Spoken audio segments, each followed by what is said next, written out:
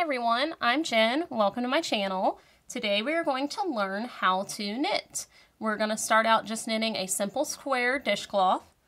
Um, the yarn that we're using today, or that I am using, this is Knit Picks Dishie. It's a great yarn for dishcloths. It's 100% cotton and it is a worsted weight yarn. Worsted weight means a medium weight. It is not the thinnest yarn and it is not the thickest yarn, so it is right in the middle, and it's a great place to learn. Uh, it's very important if you're if you are planning to use this as a dishcloth that you do use 100% cotton yarn. If you use anything with wool, you're not going to want to use it on your face or on your dishes, believe me. We're also using today, I'm using size 7 Knit Picks Sunstruck straight needles. These are made out of wood. Wooden needles are great for beginners because it allows you to keep your stitches on the needles easier. It's a lot more grip to it than uh, slick metal needles would be. So, very good. We also have scissors. We'll use this at the very end um, after we've woven in our ends, and this is called a darning needle. Darning needles are uh, an essential tool for knitters. You cannot knit without them unless you want little scraggly tails of yarn hanging off of your project, which we don't. I love the Chibi by Clover, and I will put a link to this in the description and everything that we've used here. Um, the Chibi is one great because it's just this little case where you can unscrew and it comes, they come in different types, but this particular set comes in with three sized needles which is perfect for a, a very skinny yarn, um, medium weight worsted yarn, or a chunky yarn. So I love my chibis. We're to put those back in there, and we're to screw that up, and there we go. So let's get started. Okay guys, some things that I want you to really focus on as we begin to knit here. You want to make sure that you do everything you can not to drop stitches. Dropping stitches means when you're stitch falls off the needle, okay? And you are going to also want to make sure that you are not duplicating stitches. Duplicating stitches would be accidentally creating an extra stitch out of one stitch. You can do that by knitting through the yarn and um, causing it to become unplied for whatever reason, and then it separates, and then you make two stitches out of one. Don't do that. Be very mindful of your knitting. You don't want to drop a stitch because it, it will ruin your project. Um, you can pick up stitches, but we will learn that at a later time. First thing we're going to do, let's get started here, is we're going to learn how to cast on. We want to have a decent size tail here. Tail meaning the little end that's going to hang off your yarn. If your tail is too short, you will not be able to properly sew it in at the end. You, you can't sew this into the end of your knitting if it's that short. It's not going to work. And then you're going to have this little squirt hanging off your yarn. I'm going to show you how to do a loop cast on uh, simply because that's just how I learned. But we're also going to learn the long tail cast on. The long tail cast on is the cast on that knitters use probably 95% of the time when knitting. It's it looks complicated, but once you learn it, it's muscle memory and you just know how to do it. Uh, and I would recommend just going ahead and learning how to do it. Okay? But we'll start with the loop cast on. You're going to take your thread or your yarn.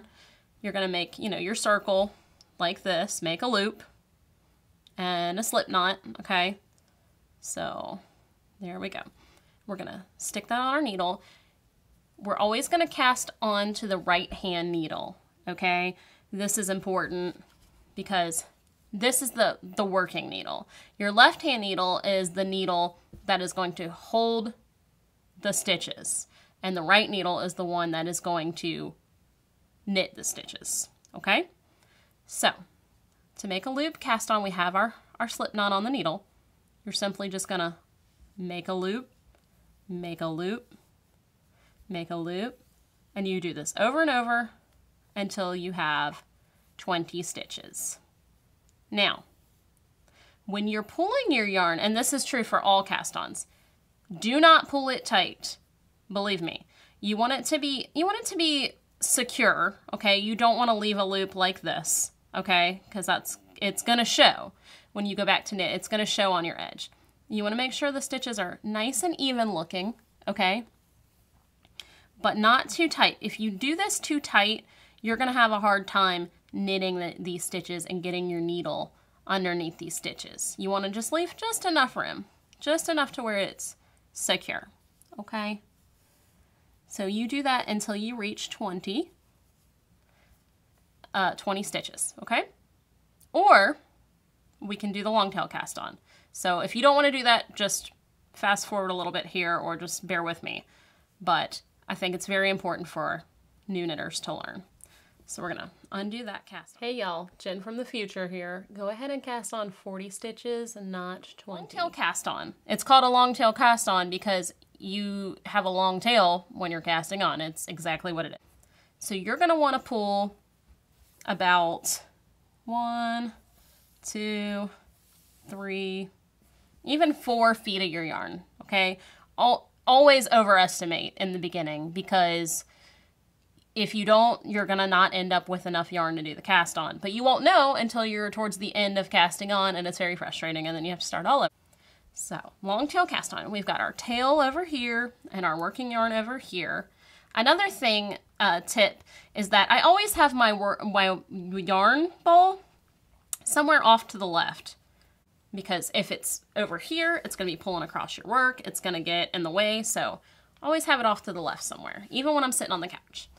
So, okay, back to our long tail cast on. You have your tail over here. You're going to take your yarn just like this around your thumb and your pointer finger, okay? And make a triangle. See that triangle there? You take your needle, you start above you're going to go under your thumb and under your finger, and then you pull it through. So let's look at that again. See, we still have our triangle. You're going to go under the thumb and over the finger. Okay, I'm going to do the casting on, the very first cast on again, just so you can see it one more time. You're going to take your needle, you're going to go above the top, up and under the thumb, and then you're gonna wrap that part around the pointer finger there and pull it through. So now we have two stitches on the needle. Once you've done that part, that's the hardest part. Once you've done that part, it gets easier. You just go under the thumb, over the finger, pull it through. And same as with the loop cast on, you want to make sure that you do not pull these stitches too tight, but you do want to pull them securely, okay? Under the thumb, over the finger, pull it through. Under the thumb, over the finger, pull it through under the thumb, over the finger, pull it through. Under the thumb, over the finger, pull it through. Under the thumb, over the finger, pull it through. So let's see, we have 1, 2, 3, 4, 5, 6, 7, 8, 9, 10, 11, 12. Notice how I'm checking on my stitches as I go, okay? You don't want to have huge gaps in between these. 13, 14, 15, 16, 17, 18, 19, 20. Uh, let's see. We're actually, we're going to go to 30. We're going to go to 40 stitches, okay? We're going to we're going to go big time here, right? 21, 20. All right. It's looking a little, uh, maybe a tiny wonky here, but this is cotton yarn. Cotton yarn is uh, not as easy to manipulate as wool yarn. And this, this will, this is fine right here. You know, you don't have to be that, that perfect, but this will knit out okay on the next round. So we have cast on. Now we have our tail over here and our working yarn over here. A mistake that a lot of beginning knitters make is that they accidentally start knitting on the tail and then they run out of yarn and they're like, whoops, I knit the tail. So to prevent doing that, just after you've cast on, take your yarn and just knot it. Okay? Just takes a minute. Put any kind of knot you want. Okay? That way you know, hey, this is the tail. Don't don't knit this part. Okay, everyone. Now we're going to learn the knit stitch. So the first thing you're going to want to do is you're going to have your yarn, your needle with your cast on stitches in your left hand, okay, and your working needle in your right hand. Tail is going to be towards the front, working yarn towards the back. We're going to take that right hand needle, place it underneath the loop of that first stitch from the front towards the back. We're going to take our working yarn, wrap it from front to back. We're going to pull it up and underneath, and we're going to slide it off our needle. Okay? I'm Going to place it underneath that stitch from front to back. Get that tail out of the way. Up and under and slide it off. Let's look at that again. Front to back there. Pull it through, slide it off. Front to back, front to back. Pull it under, slide it off.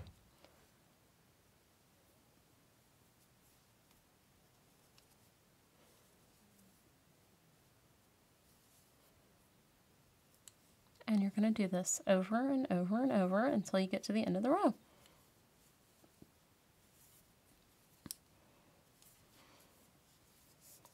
Slide your stitches up as you go so that you're not pulling your yarn too much, okay? Front to back, front to back, slide it off. This is when it's going to be very important not to drop stitches and not to split stitches. That is something that so many beginners do. And it's easy to split stitches if you go underneath the yarn here and you actually knit into the middle of it. Okay.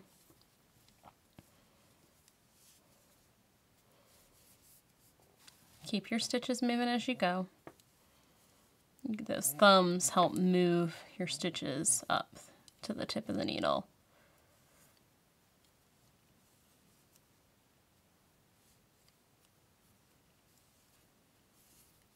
We're going to keep going until we get to the end of the row.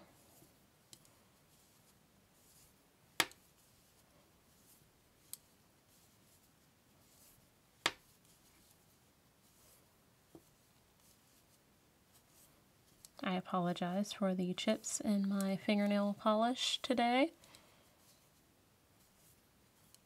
Hope it's not too distracting. So you're going to keep knitting until you get to the end of the needle. Oh, oh, see I almost dropped that stitch. I'm to carefully put it back on there and knit it. Disaster saved.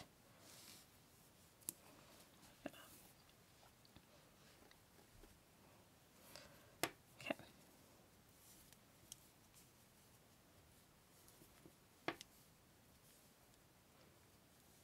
So now we've reached the end of our row. And now this needle is empty. So what we're going to do is we're going to switch this to the left hand.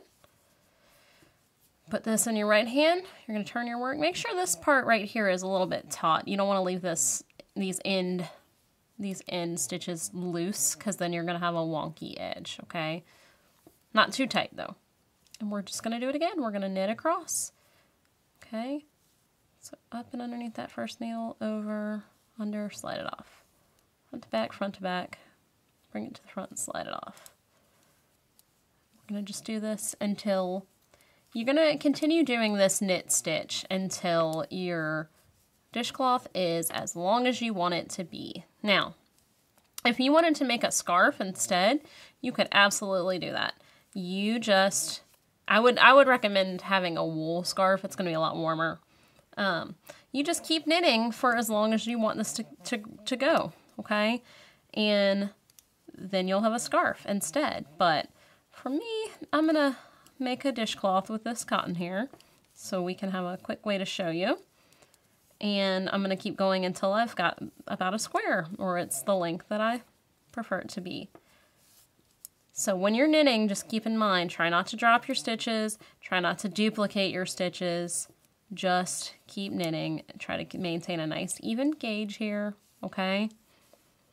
Gauge is um, how tight or loose you knit, really. Don't pull those stitches too tight. Don't leave them too loose either. But the main thing is you want them to be nice and even. This stitch is called garter stitch. It's where you simply knit row after row after row and you don't do any purling. Knitting is made up basically knits, purls, increases, and decreases, and that's it. And there's lots of ways to increase and decrease. Um, but knitting and purling are the two basic stitches of knitting. So keep turning that work, keep knitting in your garter stitch here. It makes this nice kind of garter effect, as you would say. So keep knitting until you have this the length you want it to be. So we'll be back shortly with more. All right, y'all, welcome back. We are here with our almost finished dishcloth. So now I'm going to show you how to cast off. So what we're going to do is we're going to take our yarn, we're going to take our work back in that left hand, right hand needle here. We're going to knit the first stitch, slide it off the needle. We're going to knit the second stitch, slide it off the needle. So then you are going to take your left hand needle and put it under that first stitch there, right into that loop, just like that. You're going to pull it over the other stitch, the second stitch, and then pull it off. And then we have decreased a stitch. Okay, we're going to do that again. We're going to put the right hand needle in and knit, leaving two stitches on the side on the right hand needle. We're going to put our left hand needle underneath the loop of that first stitch and slide it over your second stitch. Be very careful to, to not drop um, your working stitch here off the needle. So we're going to knit another stitch and then we're going to slip one over. That's called passing the, the stitch over. We're going to knit one stitch and we're going to slip it over that stitch there knit one stitch, pass it over, and you're going to do this until you get all the way to the end of your piece.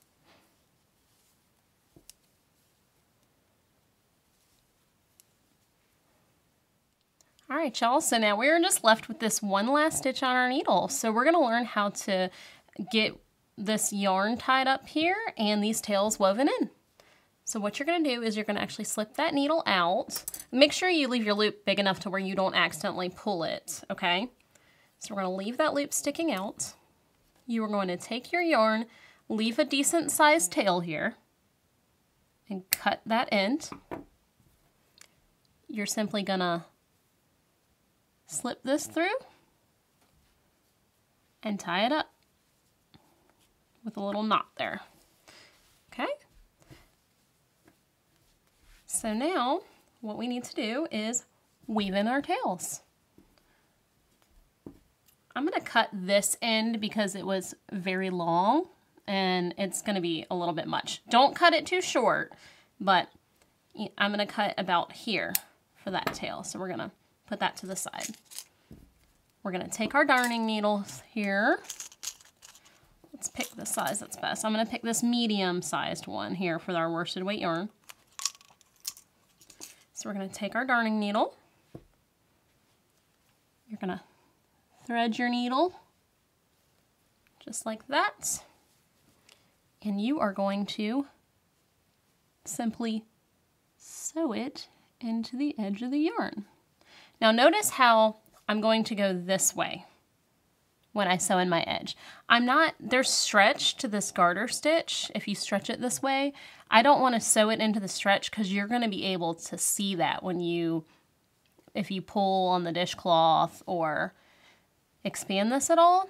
So there's a lot less stretch this way and it's a lot easier to hide the tail. So when I knit this, which is this type of stitch, garter stitch, I always weave my tail in this way. And I put mine through the yarn, through the plies. I want to make sure that when I'm doing this, I don't see a lot of the needle. If you see a lot of the needle, that's where the, the thread is going to go, and it could cause you to see that sewn in thread. So I am going to go just an inch or two. You really don't have to go far when you're sewing in your tail.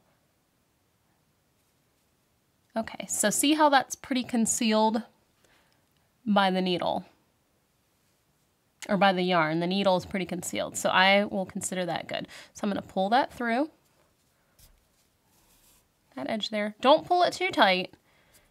I always go back and stretch it out so that way I know that it's not going to give me a wonky looking edge there, okay? And then we're to go back. Don't go right through the same spot that the yarn came out because if you do, you're just to pull it right back through and it can it can actually just come back out like you never had sewn it in. So I'm to go through this little ply here in a different spot and then we're to go back through the same way we came. Oh, I want to hide my yarn a little bit better than that. So we're to sew it through here. There we go. Not too bad. And we're gonna pull, pull. I just uh, put on some lotion for you guys so my hands weren't too dry. Having a technical difficulty there. Pull that through. And there you go. You can't really see that end. So now you're going to get as close to your project as possible. Make sure you don't snip the actual yarn, but you're going to snip right at the end of that tail and pull it taut. There you go. One end woven in. And you're going to do the exact same thing on the other side where you started.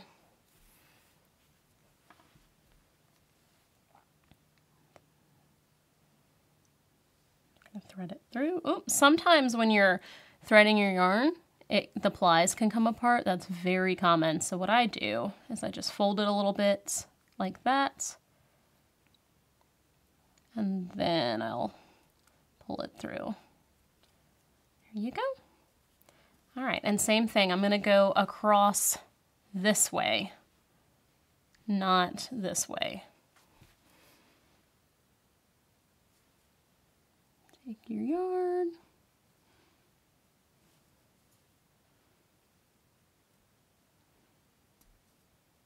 And sometimes it can be a little finicky. A lot of knitters hate weaving in their ends, but I actually really enjoy this part of the knitting.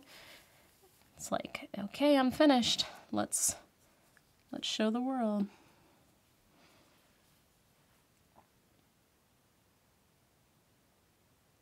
Going to go in a different spot there. Sometimes cotton yarn too can be a little stiff when you're working with it. But I do really love this Knit Picks Dishie because it is much softer than a lot of the cottons you find at your big box craft store. All right, so another end woven in. We're gonna take our scissors one more time, snip the tail, and voila, you have made your very first knitted object. Once you wash this, you see how this end is a little bit, you know, scraggly? It's gonna, it's gonna end up actually even out.